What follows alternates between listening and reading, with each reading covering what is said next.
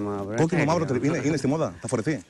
Ε, κοίταξε να δεις. Στη μόδα δεν είναι τίποτα και όλα είναι στη μόδα. Τώρα πια όλοι είναι σχεδιαστές. Μέχρι και η Bonnie Boston και έγινε σχεδιάστρια. Η Οπότε Bonnie ό,τι Boston. θες κάνε, ναι.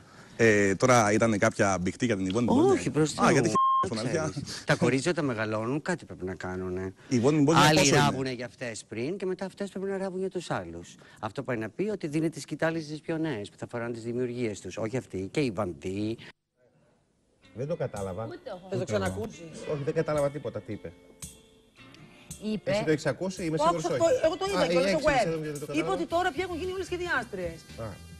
Α, Πριν ράβανε για. ε, το- ε, ε, α, τώρα ράβει αυτή για ρούχα, πριν ράβανε για εκείνη ρούχα. Δεν είπε συγκεκριμένο όνομα. Όχι, είπε για την Ιβόνη. τη ρώτησα, Πώς τη δεν ρώτησα. είπε; Άμα είπε παιδιά, η Βόνη, δεν εντάξει, τα μωρέ. άκουσα. Να βγει ο Ρέμος και να απαντήσει στο καβαλά. Ο Φάνης πάντως πολύ ήρεμος με τον καβαλά. Δεν έκανε Καθόλου, μαγκέ. παιδιά. Κοτούλα, παιδιά. Εσύ κορέ Κοτούλα ο Φανής. Ούτε ξεβρακό, Ούτε ούτε ξεβρακώθηκε, Και έκανε το ούτε ποτέ. σεξ να του κάνει, ούτε να του την πέσει, τίποτα. Παιδιά είναι μισή ώρα η εκπομπή, το είδα. Πολλά κάνανε. Πολύ fan club του Ε, Φάνης. ο εσύ. Φάνης Πάνω από τον- την την Ο εκπομπή. Φάνης τον φοβότανε. Ο Καθόλου. Λάκης, ο Λάκης τον καπέλωσε. Σε αυτό που είδαμε εμείς. Μπράβο. Λαουίσιο. Μπράβο, Σωστή παρατήρηση. Λοιπόν, Ακούγεται ότι ο Φάνης Όχι, Λαμπρό